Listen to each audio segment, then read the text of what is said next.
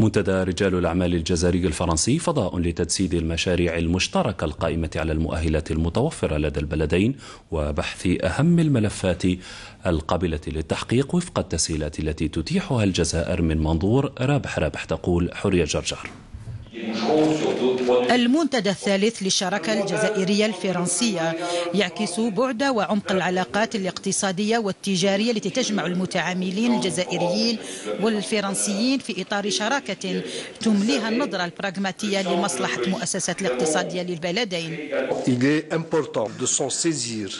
d'y investir toute notre énergie pour provoquer le saut qualitatif auquel aspirent nos relations sur la base des intérêts mutuels. Je demeure convaincu que le forum d'aujourd'hui sera une nouvelle opportunité sur la voie de la prospérité de nos économies.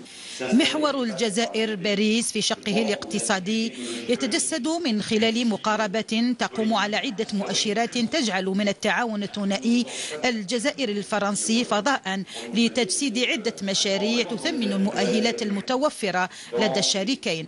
Le forum des chefs d'entreprise se mobilise activement depuis plusieurs années pour instaurer une relation de confiance entre les entreprises algériennes et les entreprises françaises.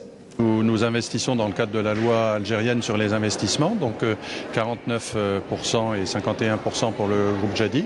Mais nous avons euh, mis en place un accord équilibré en termes de management et en termes d'apport de compétences euh, de chacun. Nous avons développé beaucoup d'affaires avec des entreprises telles que Magie ou telles que Emo à Constantine, etc. Et là, nous nous installons en tant que, en tant que producteurs sur place.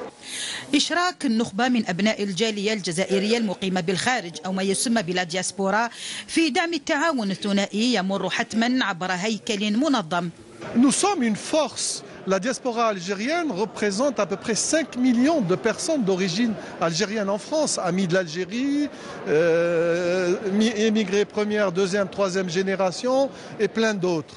Et nous sommes plus de 400 000 chefs d'entreprise et hauts cadres Euh, d'origine algérienne en France. C'est une force magnifique. C'est une force qui est à la disposition de son pays d'origine et aussi à la disposition de son pays d'accueil. ومن خلال هذا المنتدى تسعى المؤسسات الجزائرية على بحث فرص الاستثمار مع الشريك الفرنسي خارج إطار المبادلات التجارية التقليدية